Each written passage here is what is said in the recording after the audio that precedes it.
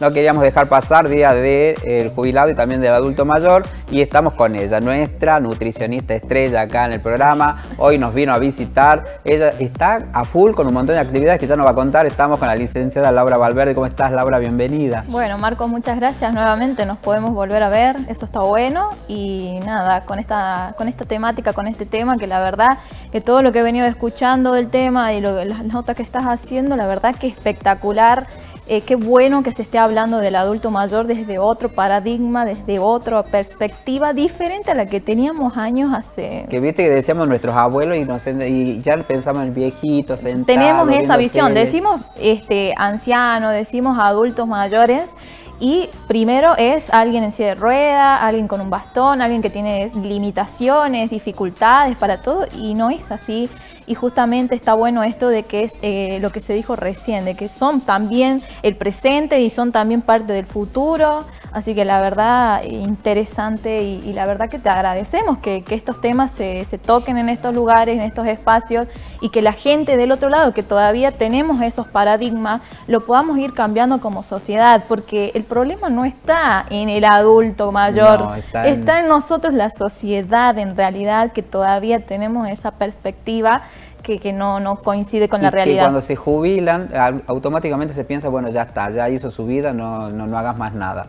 Tal cual. cuando en este, realidad pueden viajar, pueden saltar, pueden hacer, no sé, el tiempo que no tenían por el trabajo para invertirlo en otra cosa. Así que la verdad que yo creo que hay que pensarlo desde eso. Y yo, gracias a Dios, tenemos mi vieja, este, que es una mujer que tiene una vida social a sus 76 años que nosotros decimos, más, ¿no te cansa? No, bueno, pero hoy tengo mañana y te empieza a pasar la agenda de todo lo que tiene y decís, wow sé en qué momento. Y también empezó a hacer manualidad, empezó a hacer cursos, empezó a ir de aquí para allá. Algunos también descubren, eh, eh, porque el hecho de haber estado quizás muy ocupado en su vida laboral y demás, algunos descubren también que les gusta cocinar, descubren, no, desde el área nutricional yo lo, hablo, les gusta cocinar, empezar a, a, incorporar alimentos que antes no los incorporaban, quizás tenían una vida muy activa laboralmente y para no perder ese hilo de actividad empiezan a descubrir que hay cosas que no pudieron hacer antes y que ahora que tienen el tiempo lo hacen y están activos y de eso se trata, porque eso también es salud.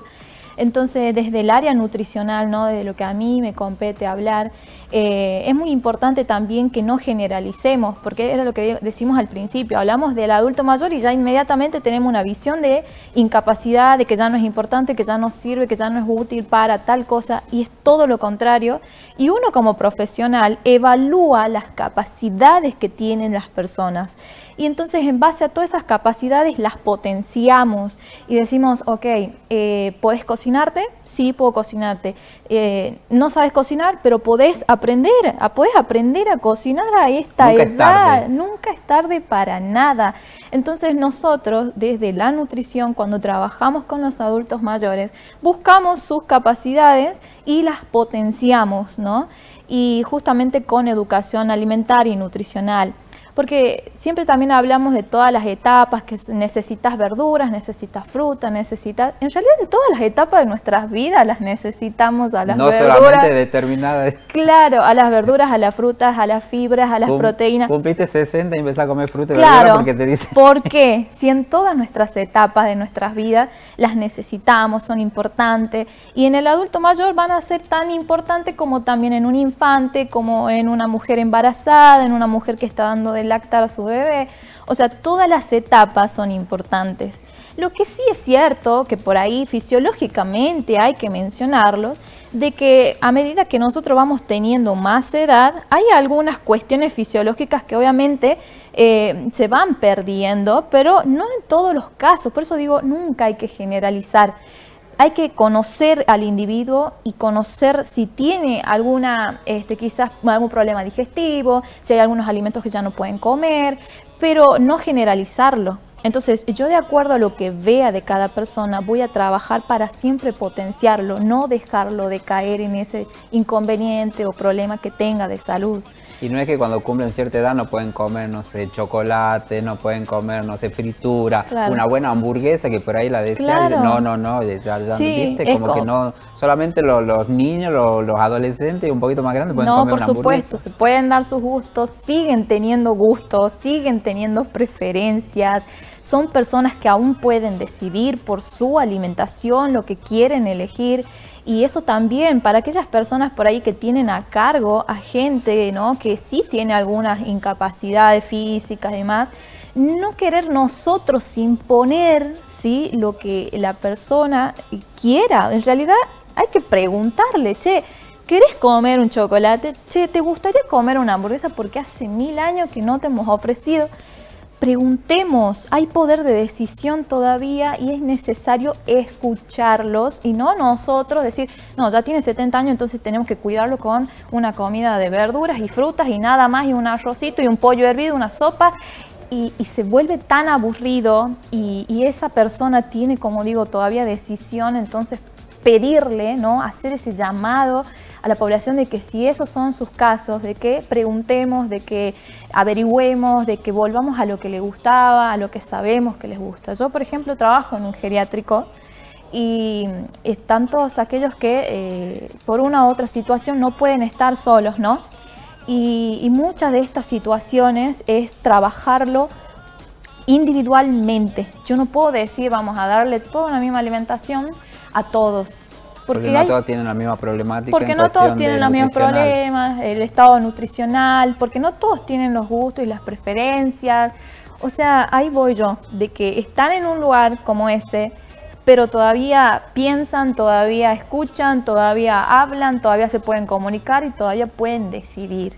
Entonces, la verdad que, me alegra mucho de verdad que se toque estos temas, pero sobre todo que se mencione de que hay un cambio de paradigma muy profundo y que todos tenemos que ser parte de eso y todos tenemos que cambiar el pensamiento, porque la verdad que si vos seguís también con esa en la cabeza que todos son o tienen esta figura que vos decías, un bastón, una silla de rueda, impedimento, impedimento, impedimento, nosotros lo seguimos trasladando y no podemos después, y después ves viejitos que están más activos que vos, que salen, te van corriendo al lado tuyo y vos decís, sí, te pasan, o ves otros que ya van andando en bicicleta y vos no podés subirte a una, y entonces vos decís, están bailando, están, eh, visto, yo me acuerdo de esto hace, muy, no sé si fue este año el año pasado, subió un ballet de adultos mayores a bailar en un evento y había una señora que subió en bastón, con bastón, ¿no?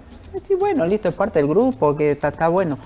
Cuando empezó la música, tiró el bastón a la miércoles, empezó a bailar. Ay, espectacular, me Y después eh, decían, agarraron el micrófono una de, de, las líderes del grupo y dice, bueno, acá nos juntamos, este es un grupo de amigas, somos como 40, pero cada vez... Y ahí le preguntaron justo los conductores por esta señora que tenía el bastón, que la vimos bailar, porque nos sorprendió, es lo que decían. Ah, no, dice, ella llega, cruza, dice, la, el Zoom donde nosotros ensayamos y el bastón se olvida. Se olvida que ella tiene bastón, se olvida de todo, baila, ensaya y así está. Y ahí la hicieron hablar y bueno, ella dijo, yo estaba sola en mi casa, no sabía qué hacer, me invitaron de casualidad, no, vio un folleto de, de, este, de este grupo y me acerqué. Me animé, decidí y, y ahora dice no lo cambio por nada porque somos 40 amigas que nos juntamos, que no solamente bailamos, sino que hacemos otras actividades. Y eso ella decía, me cambió la vida. Al final terminamos todos llorando, digo, al final, porque obviamente lo que contaba era con una... Es muy eh, emocionante. Eh, y, y esto de poder tener esta vida activa en estas edades como también la hemos tenido durante quizás en otro momento de la vida, poder sostener esto de ser activo, ser una persona, ya sea un hombre, una mujer, eh, activos, es muy importante. Y desde lo nutricional, eh, hay que también tenerlo en cuenta. Si yo me alimento obviamente correctamente, si tengo hábitos que quizás en algún momento de mi vida no lo pude construir, pero soy adulto mayor, puedo empezar a construir ahora los hábitos porque es muy común decir, no, ya esta edad, ¿qué, qué, va a cambiarlo? ¿Por, ¿Por qué le exigís tal cosa? No, podés seguir construyendo una vida de hábitos nuevos, una vida de, también de hábitos saludables y es muy importante mencionar de que eh, en todas las etapas, como dije, siempre hay nutrientes que son importantes. Eh, y eso quería mencionarle desde lo nutricional, que es muy importante la fuente de hierro, por ejemplo, que se encuentra. Ah, claro, bien, ¿dónde encontramos hierro? En las carnes, en primer lugar, podemos encontrarlo en algunas vísceras, como es el hígado, vacuno sobre todo, pero también en la parte vegetal, en frutos secos, en semillas, en todas las hojas verdes. Hay mucho hierro y también hay calcio en las hojas verdes. El calcio obviamente también es fundamental en la leche, en el queso, eh, yogur, ¿sí? Y obviamente después algunas vitaminas que también van a ayudar a evitar las anemias, a evitar por ahí eh, problemas del calcio o problemas este, del sistema esquelético, como por ejemplo vitaminas C, vitaminas D, vitaminas B12 Y todos estos los podemos encontrar en el huevo, en los pescados, en las frutas, en las verduras. Y obviamente que esto lo que yo estoy mencionando es lo que nosotros tenemos que hacer desde hoy, desde ahora. No es que estoy hablando exclusivo, esperar a cierta edad para incorporarlo.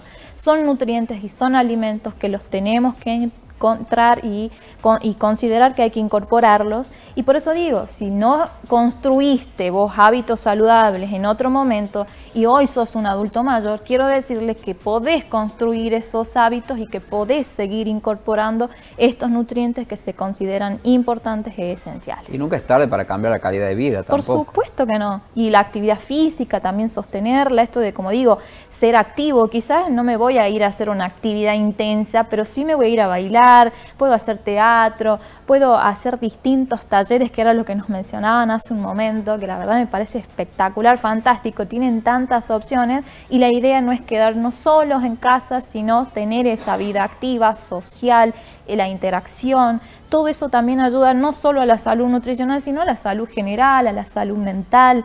Es muy, muy importante porque todo está muy enlazado.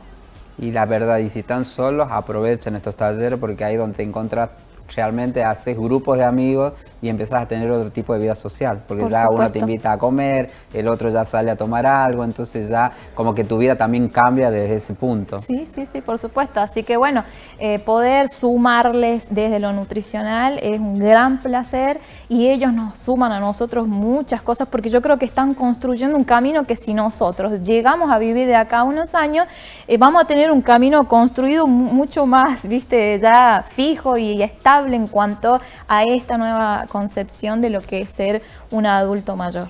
Y por último, Lau, estás con un evento el fin de semana que tiene que ver con la profesión de ustedes, claro, eh, sí, desde el Colegio de Graduados de Nutrición estamos con jornadas de actualización en base a la nutrición, que se hablan justamente de eh, la nutrición en, todas las etapas de la vida y también quizás en algunas patologías, ¿no? Y, y está, esto está, digamos, ya eh, para viernes y sábado de esta semana, así que es una jornada bastante importante para actualizarnos, para tener más conocimientos y poder brindárselo a la población.